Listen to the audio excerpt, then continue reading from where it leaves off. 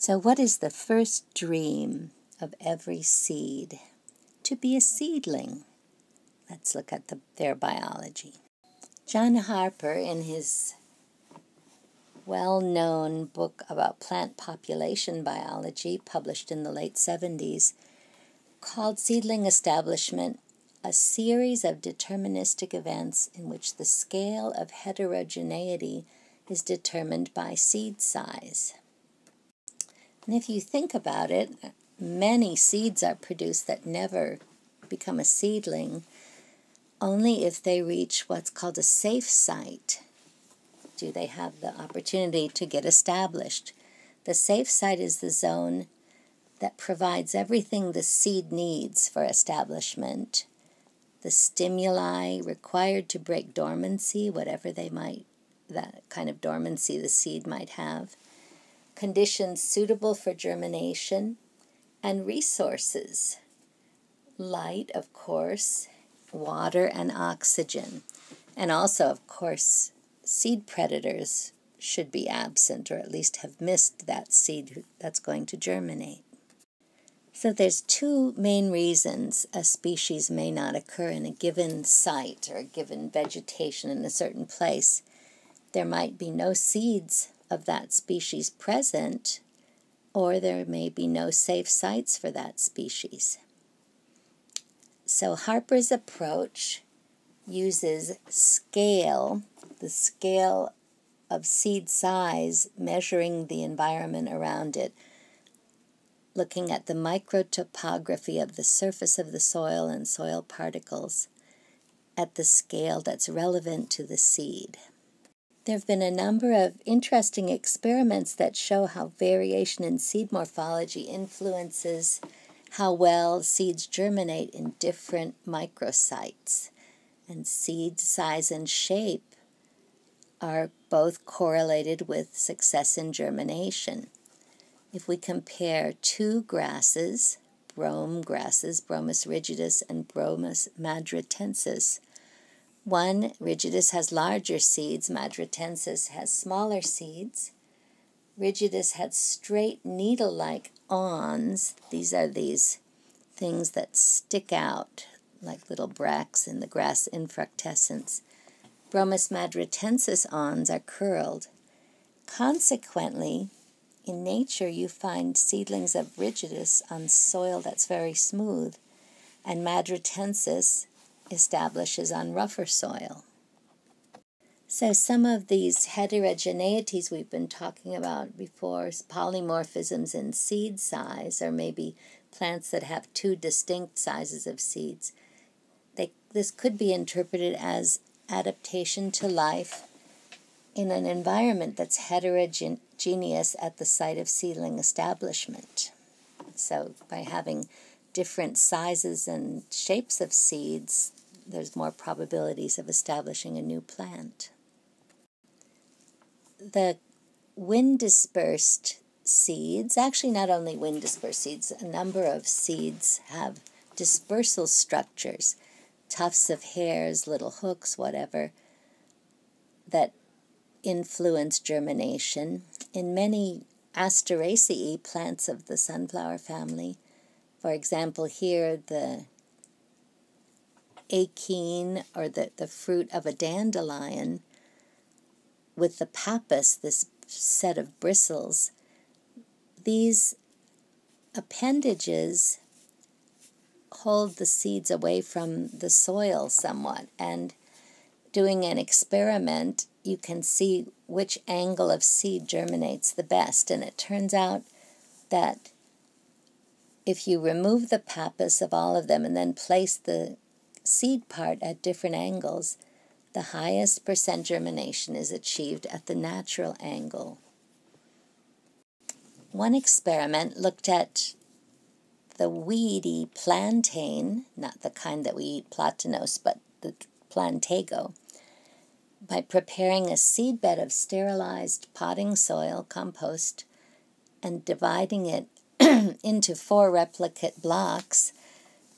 Each of the blocks received a bunch of different treatments, placing a glass plate flat, placing a glass plate vertically, making depressions, etc.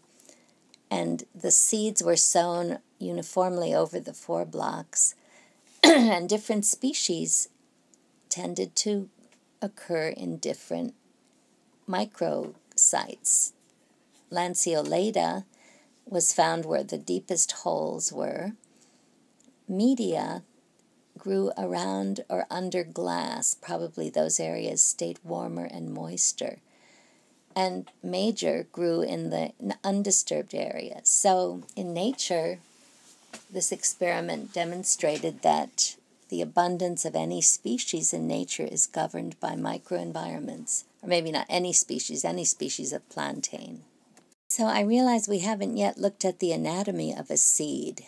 Most seeds have a seed coat on the outside, known as the testa, the outer layer that encloses the embryo and endosperm. The endosperm is nutritive tissue,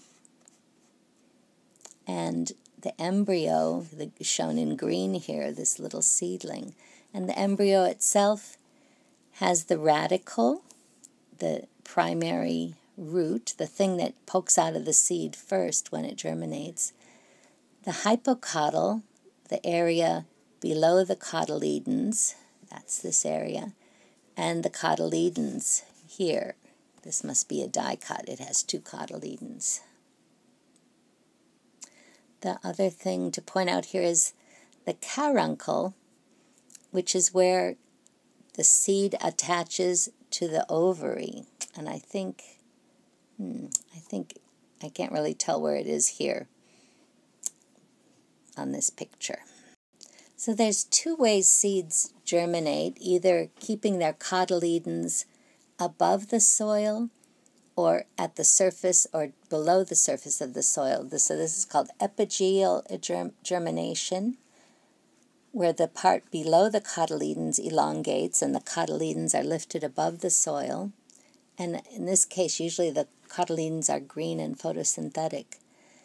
Hypogeal keeps the cotyledons in the soil so that the first photosynthetic part is the epicotyl above the cotyledons, the stem and the leaves.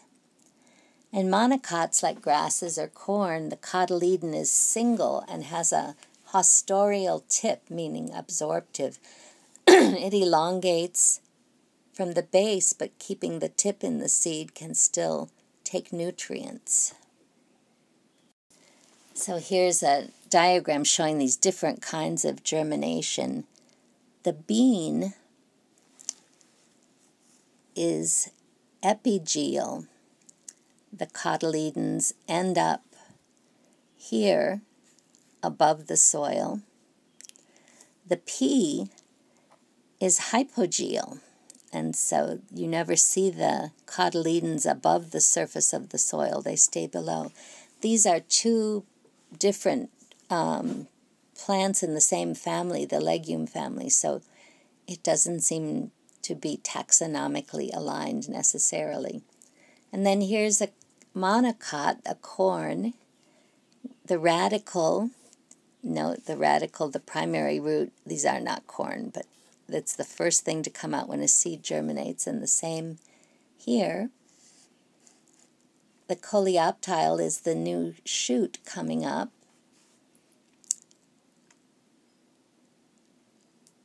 As the cotyledon, actually, and then the shoot rises above that.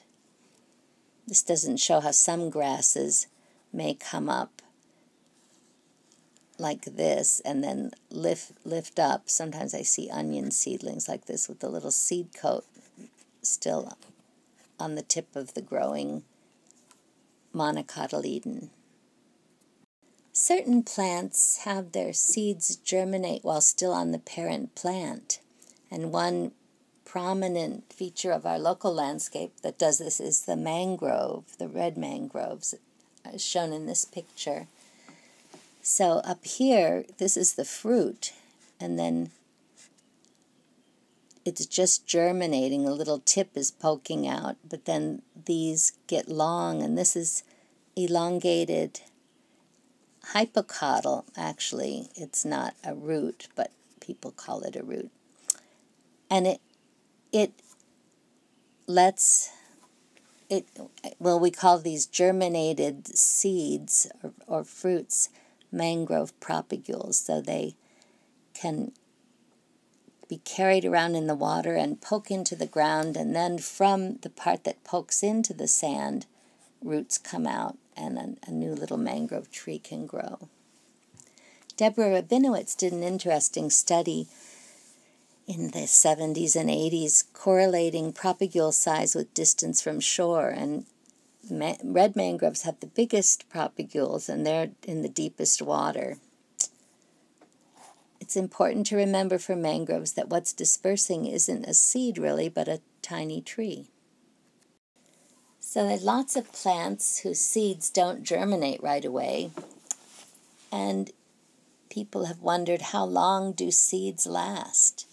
One way to age seeds is with radiocarbon dating.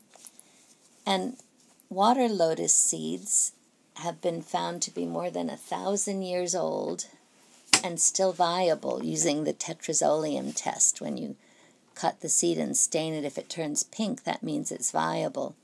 But better proof, I think, is germination.